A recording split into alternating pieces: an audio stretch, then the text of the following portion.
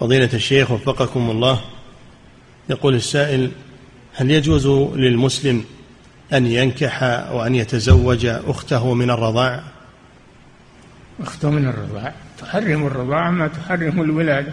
يحرم من الرضاع ما يحرم من النسب. نعم أخته من الرضاع مثل أخته من النسب. لا يجوز يتزوجها. نعم. إعداد مشروع كبار العلماء بالكويت.